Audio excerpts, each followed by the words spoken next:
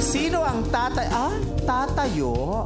Sino ang tatayo sa Ultimate Spotlight at tutul... Ah, tutuloy? Tutuloy sa quarterfinal?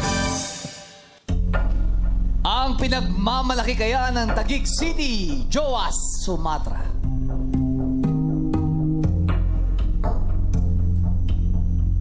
O ang manok Ah, manok?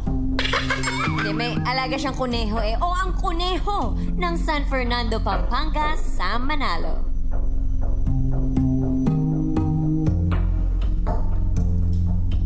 With an av... ah, average? average lang. With an average score of 94.5%, ang kampiyon para sa linggong ito ay si...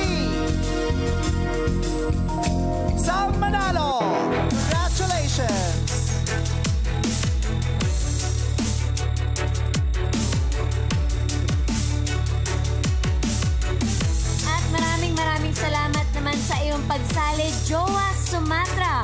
Makakapag-uwi ka pa rin ng kabuang 15,000 pesos.